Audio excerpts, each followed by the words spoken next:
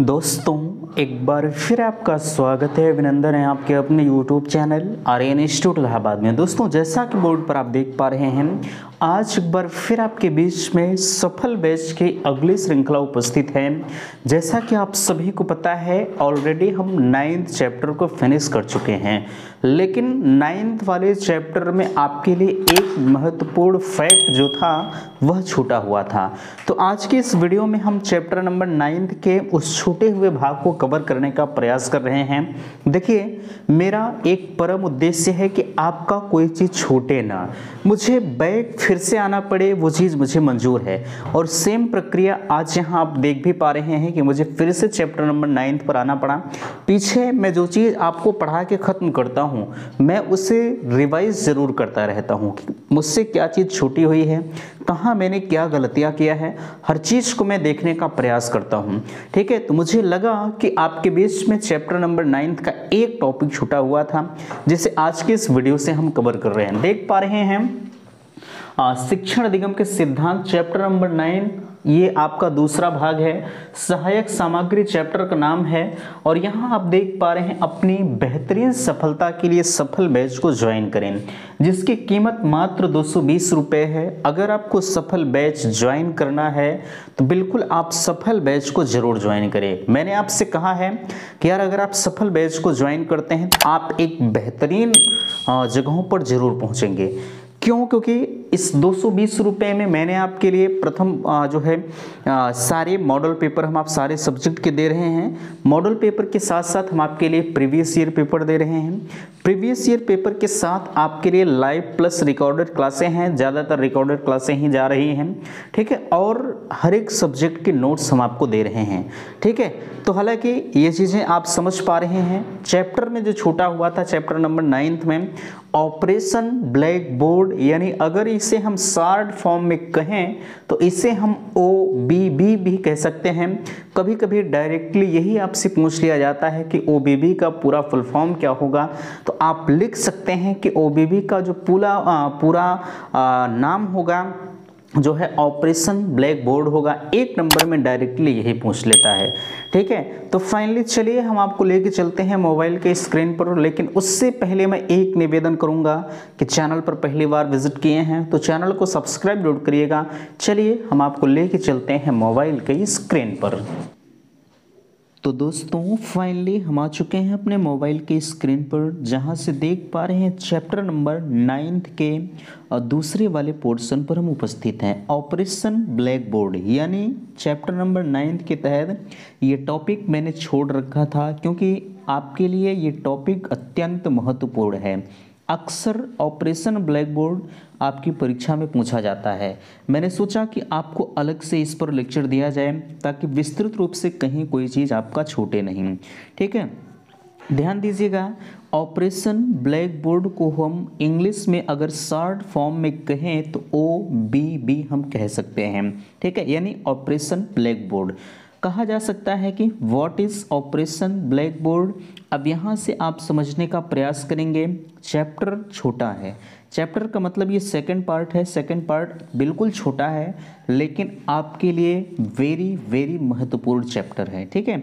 यहाँ कहा जा रहा है कि 1986 में नवीन शिक्षा नीति लागू की गई, जिसमें 14 वर्ष तक के बच्चों को सार्वजनिक रूप से शिक्षा प्रदान करने के लिए लागू की गई। यानी जो आपकी ऑपरेशन ब्लैक बोर्ड के तहत अगर कहें तो यह नीति जो है 1986 में लागू की गई, जिसमें यानी ये कौन सी नीति? ऑपरेशन ब्लैक बोर्ड और इस ऑपरेशन ब्लैक बोर्ड में ये कहा गया कि 14 वर्ष तक के बच्चों के लिए सार्वजनिक रूप से शिक्षा प्रदान की जाए।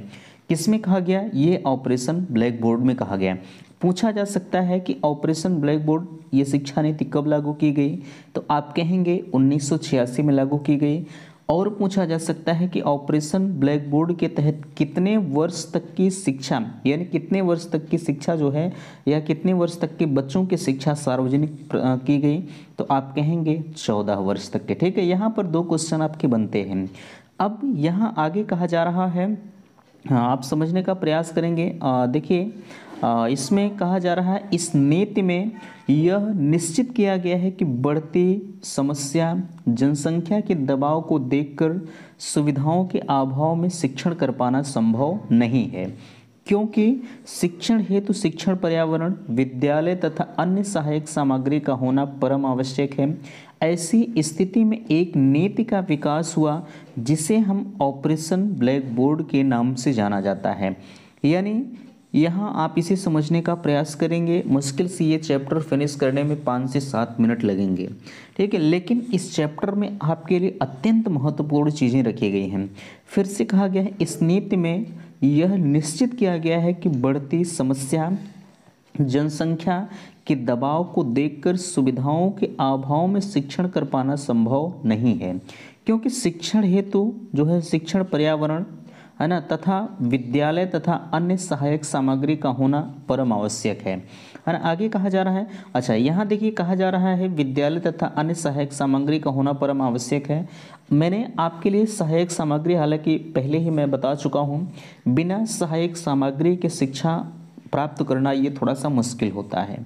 ठीक है, कहा जा रहा, ऐसी स्थिति में एक नीति का विकास हुआ, जिसे हम ऑपरेशन ब्लैक बोर्ड के नाम से जाना जाता है, या जिसे हम ओबीबी या ऑपरेशन ब्लैक बोर्ड कह सकते हैं। ठीक है, चलिए आगे यहाँ नोट करके मैंने लिख रखा है, कहा जा रहा है ओबीबी के तहत यह निश्चित किया गया कि शिक्षण सुविधा के अभाव में अन्य प्राप्त सामग्री के माध्यम से छात्रों को शिक्षित किया जाए। यहाँ ओबीबी के माध्यम से कहा जा रहा है, यह निश्चित किया गया कि शिक्षण सुविधा के अभाव में अन्य प्राप्त सामग्री के माध्यम से ही छात्रों को शिक्षित किया जाए। ठीक है, अब यहाँ एक महत्वपूर्ण फैक्ट आ रहा है कहा जाए, कथन भी कह सकते हैं। ठीक है, कहा जा रहा है, पूर्व प्रधानमंत्री स्वर्गीय राजीव गांधी ने कहा है कि शिक्षकों को चाहिए कि विद्यालय के अभाव में वृक्ष के नीचे। आपने देखा होगा, इस समय भी प्राथमिक विद्यालयों की स्थिति ऐसी है, जब थोड़ा सा ठंडक पड़ने लगती भाई छोटे छोटे बच्चे होते हैं। जब थोड़ा सा ठंडक पड़ने लगती है तो टीचर क्या करते हैं, बच्चों को बाहर निकाल कर धूप में बैठाकर शिक्षा देने लगते हैं। हालाँकि यहाँ पूर्व प्रधानमंत्री स्वर्गीय राजीव गांधी ने भी कहा है, डबल इन्वर्टेड कामा में लिखेंगे, शिक्षकों को चाहिए कि विद्यालय के अभाव में वृक्ष के नीचे बैठाकर छात्रों को शिक्षित किया जाए, जिससे शिक्षा में गुणात्मक सुधार हो सके। है ना? आपने देखा होगा, आज भी ये प्रक्रिया हम लोगों के बीच में अपनाई जा रही। तमाम शिक्षक हैं और तमाम विद्यालय, हालाँकि इन्होंने विद्यालय के अभाव की बात की है, बट इस समय तो विद्यालय का अभाव नहीं, है नहीं। विद्यालय तो पर्याप्त हैं। लेकिन फिर भी जो टीचर होते हैं, वो बच्चों को धूप में बैठाकर शिक्षा देने का प्रयास करते हैं। ठीक है, चलिए अगला कहा जा रहा है, चैप्टर तो यहीं तक है, लेकिन फिर भी यहाँ तीन किट आपके बीच में आ रही हैं, इस किट पर भी हम थोड़ा बहुत चर्चा करेंगे। कहा जा रहा है, ओ के तहत सामग्री। अब यहाँ ओ के तहत कौन कौन सी सामग्रियाँ आती हैं, जैसे ऑपरेशन ब्लैक बोर्ड की हम बात करें इसके तहत देखिए, छोटी आरी हो गई। आती तो बहुत सारी है। ऐसा नहीं कि सिर्फ़ ये मैंने बिल्कुल शॉर्ट फॉर्म में लिख रखा है। ठीक है, आती बहुत सारी सामग्री सामग्रियाँ, लेकिन फिर भी आप समझने का प्रयास करेंगे। ये छोटी आरी है, साइकिल रेंच है, सेंटर पंच है, आगे स्टील पैमाना, पेचकस, तार, होल्डर, चिमटी, छड़ आकृतियाँ आदि। चीज़ें ऑपरेशन ब्लैक बोर्ड के तहत आती हैं, ठीक है? अब यहाँ आपके बीच में हमने कुछ किट के बारे में चर्चा किया है, जैसे विज्ञान किट क्या होता है, गणित किट क्या होता है और मिनी टूल किट क्या होता है। अब यहाँ ध्यान दीजिएगा। ये आपके लिए महत्वपूर्ण तो नहीं है, लेकिन अगर आपके चैप्टर में रखा है तो थोड़ा सा हम फोकस ज़रूर करेंगे। इसमें कहा जा सकता है कि छात्रों को भौतिक तथा जो है छात्रों को भौतिक तथा पर्यावरण का ज्ञान देने के लिए यह आवश्यक है कि पाठ में विज्ञान विषय को सम्मिलित किया जाए, जिससे छात्रों में वस्तु तथा पर्यावरणीय तथ्यों का ज्ञान हो सके।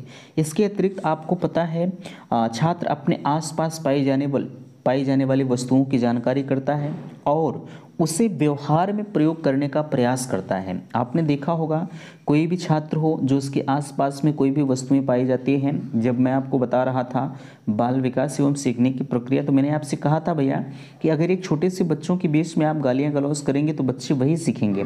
तो यही यहाँ कहा जा रहा है कि विज्ञान किट के तहत कि बच्चे अपने आसपास में जो चीज़ें पाई जाती हैं, जो वस्तुएँ रहती हैं, उसकी जानकारी करता है और जानकारी करने के बाद उसे अपने व्यवहार में प्रयोग करने का भी प्रयास करता है। अब विज्ञान किट के तहत जो प्राप्त सामग्रियाँ हैं, अगर बात करें इसके अंतर्गत 110 वस्तुएँ हैं।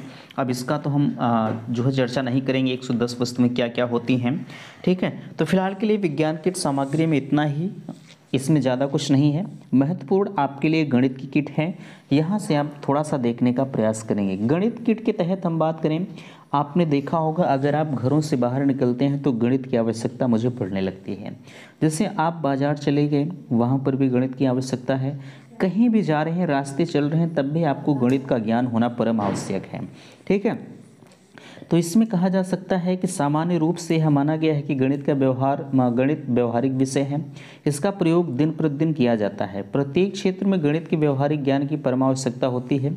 इसके लिए छात्र जो है इसका ज्ञान होना परमावश्यक है। साथ साथ यह भी माना जाता है कि जो गणित विषय कट, बहुत कठिन है, जिससे स्वयं छात्र को गणित जो है शिक्षण से बचना चाहते हैं। मैंने जो है हमें लगता है कि हम कल सुबह से जो है, उम्मीद है कि कल सुबह से गणित का जो लेक्चर है वो प्रारंभ होगा। फिर भी मैं ये ज़रूर आपसे कहूँगा कि अगर आपको गणित कठिन लगता होगा तो मैं चैलेंज के साथ कह सकता हूँ कि गणित आपको कठिन नहीं लगेगा। गणित अगर आपने कभी नहीं पढ़ा होगा तो फिर भी मैं आपको बता दूँगा, आप समझ जाएँगे। इसलिए आप वीडियो के लास्ट तक गणित ज़रूर देखिएगा। अब गणित विषय में कठिन होने की क्या कारण है? कहा जा सकता है कि अध्यापक द्वारा उच्च शिक्षण प्रणाली का प्रयोग न करना, जैसे गणित आपको पढ़ाया जा रहा है अगर, मैंने कहा आपसे जैसे कोई शिक्षक गणित अगर पढ़ा रहे हैं, अगर वो अच्छी खासी शिक्षा प्रणाली का प्रयोग नहीं कर रहे हैं, तब भी आप कठिनाई उत्पन्न होगी। ठीक है? अगला कहा जा रहा है, गणित शिक्षण में प्रयोग में लाई जाने वाली उपयोगी शिक्षण विधियों का प्रयोग न करना। जैसे कोई फार्मूला है, आप फार्मूला का प्रयोग नहीं कर रहे हैं तो ज़ाहिर सी बात है, नियम कानून कठिन हो ही जाएँगे। अब अभिभावकों का लापरवाह होना एक छोटे से बच्चे का है। आप बच्चों को कभी शिक्षा नहीं देंगे तो ज़ाहिर सी बात है, बच्चे नहीं सीख पाएँगे। विद्यालय में कितनी देर रहते हैं? छः घंटे, पाँच घंटे रहेंगे। उससे ज़्यादा तो घर पर बीतता है। घर पर आपको ध्यान देना परम आवश्यक होता है। ठीक है? आगे कहा जा रहा है, गणित छात्रों का गणित विषय के प्रति निरुत्साहित होना। निरुत्साहित का मतलब है गणित के प्रति वो बिल्कुल लापरवाह होते हैं। क्योंकि गणित जब आता नहीं तो पढ़ने का मन भी नहीं करता, ये मुझे पता है। फिर भी मैंने कहा है आपसे कि आप ज़्यादा से ज़्यादा गणित को ध्यान दीजिए। आप ज़्यादा से ज़्यादा क्वेश्चन को सॉल्व करिए। अगर क्वेश्चन को सॉल्व करते हैं तो मैं चैलेंज के साथ कहता हूँ कि आपको सब कुछ समझ में आएगा।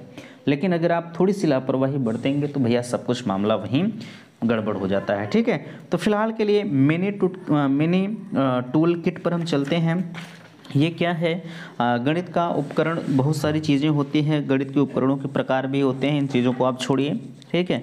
अब mini kit, mini tool kit क्या है? प्राथमिक स्तर पर छात्रों को ज्ञान प्रदान करने के लिए ऐसे उपकरण की आवश्यकता पड़ती है, जो छोटे छोटे बच्चों को आसानी से ग्रहण कर सकें। अर्थात प्रयोग से जो है, अर्थात उनके प्रयोग से प्राप्त होने वाले ज्ञान को सहज रूप से प्राप्त कर लें। इसलिए प्राइमरी विद्यालयों को ऑपरेशन ब्लैक बोर्ड के अंतर्गत मिनी टूल किट या लघु उपकरण प्रदान की गई है। ठीक है? ये मिनी टूल किट है, हालाँकि ये महत्वपूर्ण नहीं है। ये तीनों महत्वपूर्ण आपके लिए नहीं है, लेकिन मैंने थोड़ा थोड़ा चर्चा इन सभी पर कर दिया है।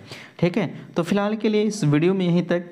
अगर वीडियो पसंद आया होगा, ये खास कर ध्यान रखिएगा, इस वीडियो में आपके लिए ऑपरेशन ब्लैक बोर्ड ये जितने लेक्चर मैंने आपको बताए हैं, ऑपरेशन ब्लैक बोर्ड पर ये दस मिनट का वीडियो है। आपके लिए बहुत महत्वपूर्ण है। इसलिए आप अच्छी तरह से समझने का प्रयास करेंगे, ठीक है? तो इस वीडियो में यहीं तक। वीडियो को लाइक कीजिएगा, शेयर कीजिएगा और चैनल पर फ़र्स्ट टाइम विज़िट किए हैं तो चैनल को सब्सक्राइब ज़रूर कीजिएगा। वीडियो समाप्त करते थैंक्स, धन्यवाद।